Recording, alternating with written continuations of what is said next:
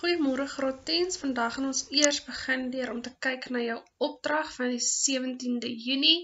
Dit is die opdrag wat jy vandag sou gekry het. Of Woensdag sou kry. So kom ons kyk gou wat jy moet doen. Gedeel boon staan op Hoërskool Oosterlig, Afrikaans Huissaal Graad 10, kwartaal 2, taak 3. Hy is die 17de Junie uitgegee en die inhandiging van hierdie opdrag is die 24ste Junie 2020. Die totaal van hierdie opdrag is 20 punte en ek het hierdie um, opdrag hier vir jou saamgestel. Goed nou, as jy kyk na jou idiome, onthou jy dat jy so blokkies raaisel gekry het, um waar jy die idiome moes invul. So ek het hierdie opdrag saamgestel met behulp van daardie oefening. So heel eerstens, vraagie 1 tot 10, vra ek vir jou, jy moet die, correcte woord daarin gaan vul, so jy gaan op hierdie opdrag self, net jou pen vat en die rechte idioom, of die sin voltooi om die idioom so volledig as moendlik te maak. So jy gaan daar so die ontbrekende woordkie gaan invul. Dan kom ons by jou tweede vraagie, dan het ek vir jou gesê pas die regte idioom by die regte betekenis, byvoorbeeld 1A. So dit is 'n gewone kolom A by kolom B. So jy gaan gaan kyk wat se betekenis pas by watter idioom. Dan gaan jy nommer van 1 tot 10 en jy gaan invul A, B, C of wat ook al wat se betekenis pas by die regte idioom. Weereens kan jy gebruik maak van daardie blokkies raaisel wat ek vir jou gegee het wat oor idiome gehandel het en jy het ook die antwoorde gehad. So hierdie is baie maklik en baie eenvoudig.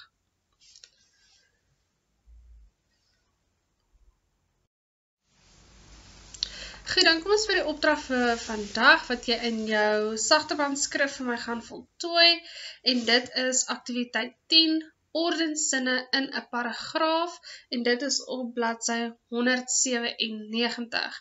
Nou hierdie aktiwiteit kom uit jou Platinum Afrikaans Huistaal Graad 10 Handboek. So jy kan solank gou jou handboek nader trek sodat jy saam met my kan volg.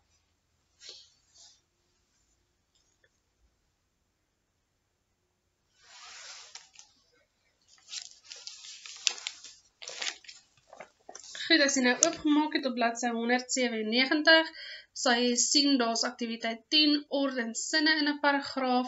Net onder dit selfe vir jou, die sinne in die middelste, die donker ge gedrukte gedeelte sê vir ons waar ons moet gaan kyk. Die sinne in die middelste paragraaf in die teks hieronder is geskommel. Met ander woorde, dit is nie in in die korrekte vorm nie. Dit is deurmekaar dan sal hulle gebruik jou kennis van paragrawe en herskryf die sinne in die regte volgorde. Dan sê hulle ook vir jou in hakkies, die eerste en derde paragrawe is daar is daar om die konteks te verskaf. So dit is om vir jou meer agtergrondkennis te gee. Dan kan jy saam met my volg in die leesstuk. En jou leesstuk gaan as volg: Daar is soene en dan is daar soene.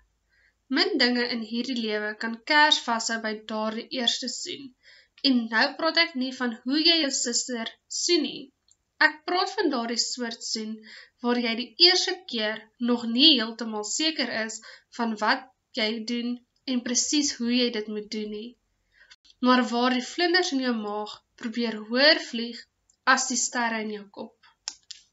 Die beste raad is om nie te entoesiasties te wees nie. Eers later het ek gehoor, dis omdat jy jou gesig met 'n waslap moes af moes gaan afvee as hy jou die slag gesoen het. Beginners wil gewoonlik weet wat die beste tegniek is as dit kom by die soenslag.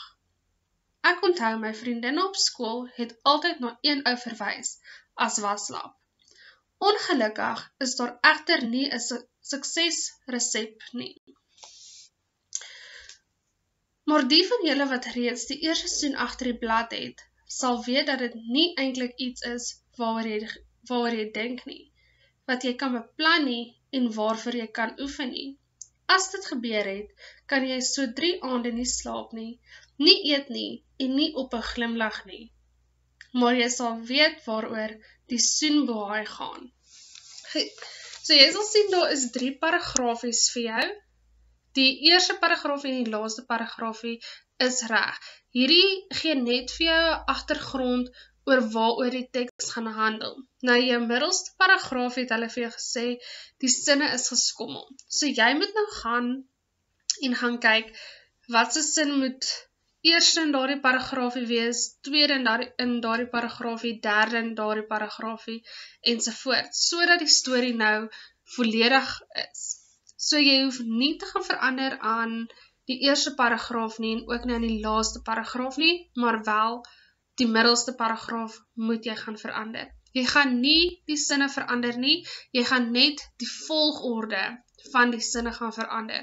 So jy kan nie woorde gaan uithaal of woorde gaan bysit nie.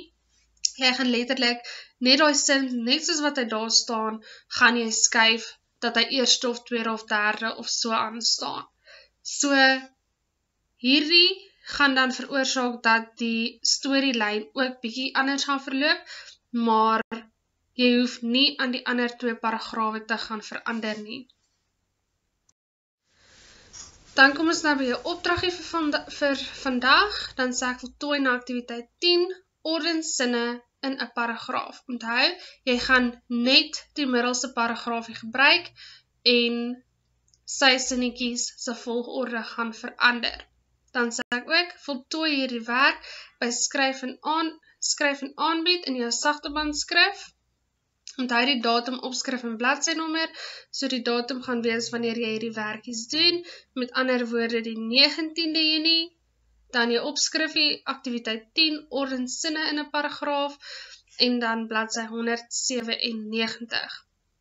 Dan sê ek ook jy moet 'n eerste weergawe hê en dan 'n finaal.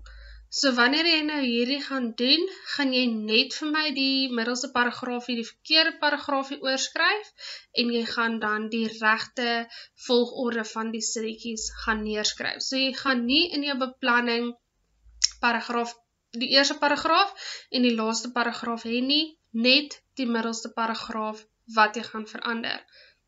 Nou jy sal sien hierdie is 'n baie kort les, soos wat ek al afgelei het kom julle nie almal by die werk uit nie.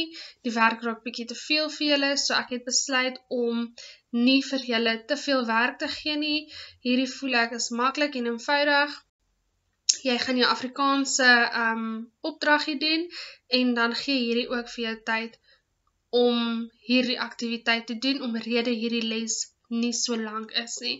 So gebruik die tyd wat ek nou vir jou gee om jou werk in te haal so gou as moontlik en wees rustig. Ons sal ook as die skool begin, gaan ons net vinnig ehm um, ek gaan nou die Engelse woorde gebruik recap om te kyk waar jy trek met die werk, maar onthou ek gaan nie teruggaan en ek gaan nie vir jou ekstra tyd gee om hierdie werk te doen nie. Jy moet op datum wees en jy moet op die regte plek in jou boeke gewerk het, anders gaan ons nie weet waar jy trek nie. So sterkte met hierdie werk, gebruik hierdie tyd om jou werk in te haal, jou Afrikaanse werk, om jou opdrag te doen en om hierdie aktiwiteit te voltooi en as jy agter is met 'n ander aktiwiteit om dit ook te doen. Sterkte met hierdie werk en lekker werk.